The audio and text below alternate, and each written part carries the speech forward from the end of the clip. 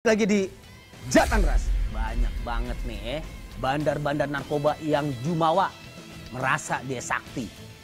Nggak pernah ketangkep sama polisi.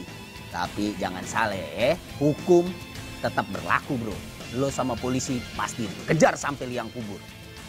Tim Raja Wali dari Sat Narkoba Polresta Padang berhasil menemukan bandar narkoba yang terbilang licin kayak belut bro. Tapi di tangan tim Raja Wali, akhirnya tuh bandar berhasil dipatok. Ini dia liputan.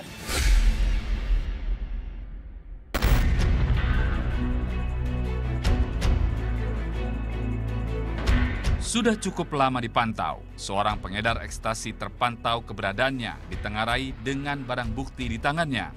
Tak biarkan pelanggar hukum melenggang begitu saja. Tim Raja Wali melesat memburu mangsanya. Di bawah pimpinan Katim Opsional Aibda Hari Akmal, tim khusus Satres Narkoba Polresta Padang ini bergerak ke kawasan Pondok, Padang Barat, Kota Padang. Pelaku diburu rumah kontrakannya. Tim berpacu dengan waktu sebab pelaku kerap berpindah-pindah lokasi juga tempat tinggalnya. Betul saja di lokasi ini Edo Destrian didapati. Nah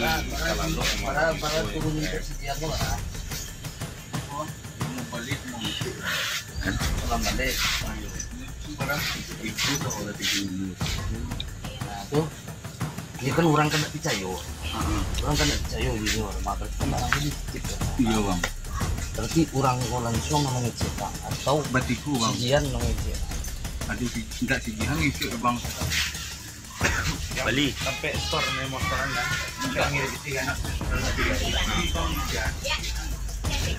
Ya, dari.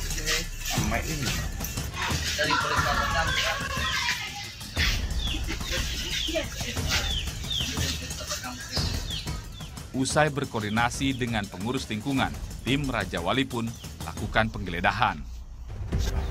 Semua dia ya. Semua pembeli ya dia itu ya.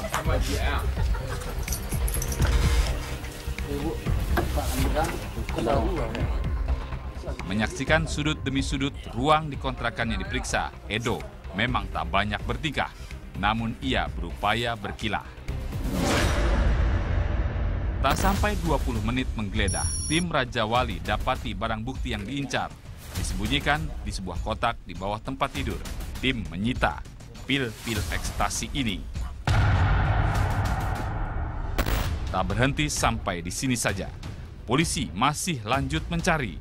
Dengan kiprah yang diketahui selama ini, ditengarai pelaku masih sembunyikan ekstasi. Tu. Di di ah di di Mukul. Ada yang lain do, letaknya do. Aja aja aja aja do. Dulu bang. Reko tinggal orang siko tapi ini orang kole do. Hah?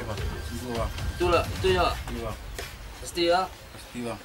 Sambil terus disisir, dicari barang bukti, Edo pun terus ditanya. Sejauh ini, lelaki 30 tahun ungkap edarkan ekstasi dengan target dunia malam di berbagai penjuru kota Padang. Buku nak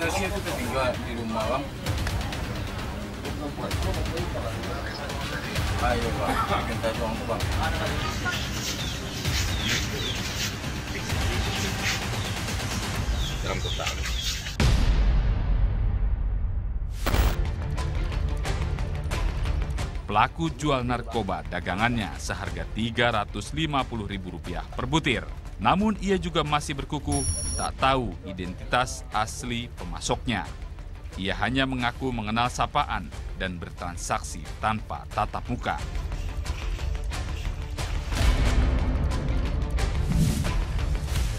Polresta sudah menangkap satu orang eh, pria berumur lebih kurang 34 tahun dengan inisial E yang diduga eh, menyalahgunakan eh, narkotika jenis eh, pil ekstasi.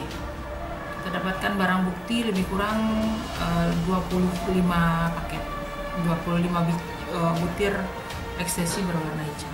Kita masih dalam pengembangan, eh, nanti untuk lebih lanjutnya nanti akan kita eh, rilis kembali.